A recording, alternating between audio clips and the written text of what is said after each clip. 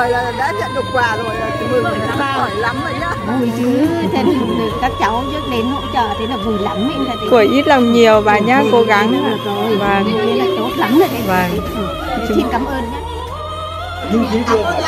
bây giờ các bạn à, cứu trợ được cái đồ ăn này thì tiền người ta tham ra để người ta làm cái việc khác phát triển chăn nuôi rồi phát triển cái hoa màu sang việc trồng lúa không trồng lúa được thì trồng hoa màu. Vâng. Để đâu được cứu được tí nào thì hay đó ruộng ao chúng tôi là mất hết. Vâng. Năm nay từ giờ đến tết là không có không có thu nhập. nữa. Không có thu nhập. rất là lo Sau cơn bão Yagi, đồng bào vùng bão phải gánh chịu những mất mát và thiệt hại nặng nề. Nhưng cũng chính lúc này, tình người, sự sẻ chia và tinh thần đoàn kết lại được phát huy mạnh mẽ. Từ khắp mọi miền đất nước, những tấm lòng thiện nguyện đã cùng nhau hướng về bà con vùng bão. Mỗi người một chút, chung tay hỗ trợ, mang theo sự ấm áp và sự quan tâm chân thành. Đồng hành cùng cả nước, câu lạc bộ Quốc Vàng Tập tu Lục Hòa đã đóng góp 300 triệu đồng tới mặt trận Tổ quốc Việt Nam, đồng thời gửi tặng 20 tấn gạo cùng nhiều nhu yếu phẩm thiết yếu như chăn, thuốc, quần áo, dầu gội để hỗ trợ bà con tái thiết cuộc sống sau bão. có sự chung tay của chính quyền của ủy thì sau đó phân bổ cái nguồn lực này đảm bảo công bằng công khai và minh bạch Các món quà đã được chuyển tới bà con các tỉnh Lạng Sơn, Cao Bằng, Tuyên Quang, Yên Bái, Bắc Cạn thông qua Ủy ban Mặt trận Tổ quốc Việt Nam các tỉnh. Dù đối mặt với bao khó khăn, bà con nơi đây vẫn giữ vững niềm hy vọng bởi họ biết rằng luôn có những tấm lòng sẵn sàng sẻ chia, hỗ trợ, giúp bà con có thêm sức mạnh để tiếp tục vươn lên, vượt qua những ngày gian khó phía trước. Xin cảm ơn các nhà hảo tâm vâng. Nhất là nhân dân ở đây thì thực sự ra là về lúa má thì vừa rồi cũng học rất nhiều. Vâng. Về cái cảm các tôi không đầy đủ nên là coi như câu lạc bộ quan tâm thì chúng tôi xin thành cảm ơn.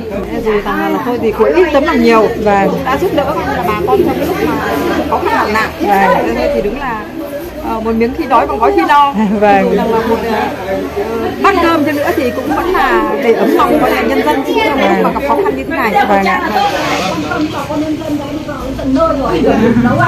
vâng. Vâng ạ. Chúng cháu xin phép chúng cháu đến điểm khác ạ. Vâng. Vâng ạ vâng. Vâng ạ cháu chào cô chú nhá. Các cô con à, làm đã xin cảm ơn các chị nhá. Vâng ạ. xin được bắt tay các chị tí vâng. Vâng.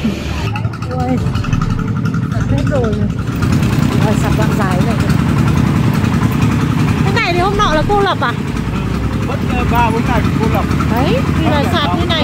nói chung là có may mắn không ai thương cảnh báo. Dân họ đang à, rất là vui để đi theo xe để nhận hàng cứu trợ đây, Đây, đúng rồi. rồi. Đấy, bà con nhân dân đến đây để nhận gạo đã chờ sẵn ở đây. bà rồi. con đã đợi sẵn ở đây gạo hỗ trợ của câu lạc bộ đã được chuyển đến à, thôn Hồng Bàng xã Đại Đồng huyện Yên Bình à, tỉnh Yên Bái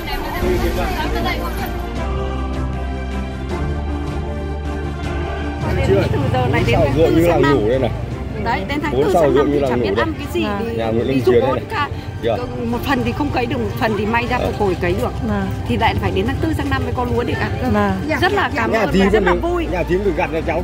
Rất là từ nay trở đi Vâng. chẳng có chỗ mà vừa- cây Dạ thôi cũng có một ít khi đói một gói khi no mà Đấy. rồi cho như này là rất vui mà rất chiều là nay xuống gạo. ruộng là một ao chuông là mất hết cá rồi. Vâng. may là còn người cái cái chỗ nào nó không việc gì nó tươi cười. Mọi ngày là chúng tôi còn không đi được ra ngoài kia cơ. Vâng, cháu đi vào đường này thấy gần như là cô lập. cô còn chưa vào sâu vào sâu trong này còn ui rồi sợ lắm nó, nó sạt trên núi xuống ấy. À, nhà tôi mất hàng hecta quế. À, quế giờ vùi xuống chả thu được. Vâng. cây to thu hoạch được rồi mà Bây giờ sập hết. sạt núi mất hết Vâng. Cũng uh, thay mặt nhân dân trong thôn uh, cảm ơn đã chia sẻ những lúc khó khăn. Uh, Một tuần trước là tắc đường không thể ra được, Vâng. mất điện, mất hết, không lưu thông được. Vâng. Bây giờ các bạn cứu trợ được cái đồ ăn này thì cái cái tiền người ta làm ra để người ta Vâng. làm cái việc khác Vâng. để đâu được cứu được tí nào thì hay đó. rất là lo nhân dân. Từ giờ đến đến đến Tết rất là đói. Vâng.